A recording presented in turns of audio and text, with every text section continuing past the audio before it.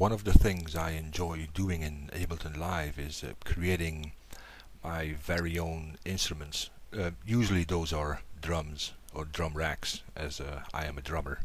So every time I run into some drum samples uh, I usually go like, ooh, I can make a drum rack out of that.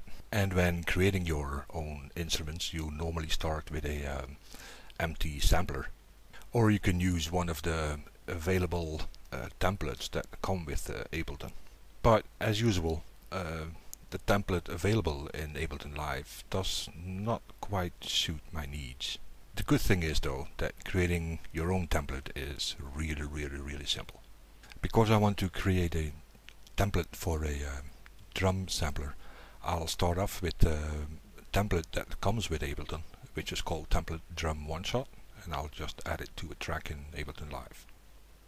And just to show you uh, some of the differences between a, a normal sampler and a template, um, I'll quickly add a sampler and let's compare the two. So looking at the zone in both, so this is the template.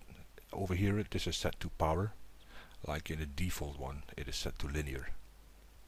Looking at the filter global tab uh, you'll notice that the volume to velocity is different. Uh, the slopes are different so switching to the default.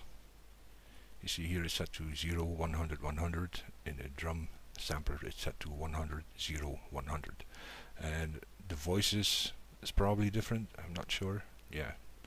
And also this one the re-trigger for a, a, drum should be uh, disabled and the loop should be set to trigger.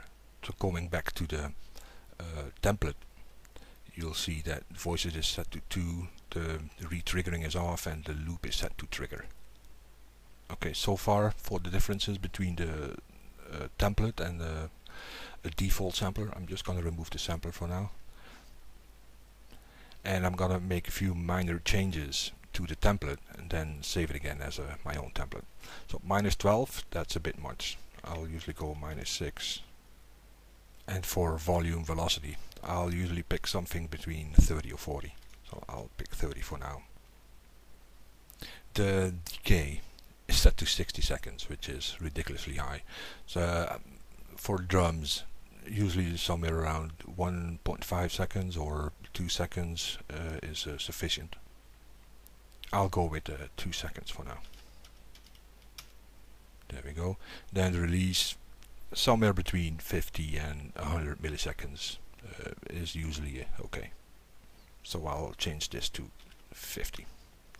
Then the voices. 2 is a bit low. I usually go with 4. And that's about all there is to it uh, only thing left to do is just rename it and save it. So quickly rename it.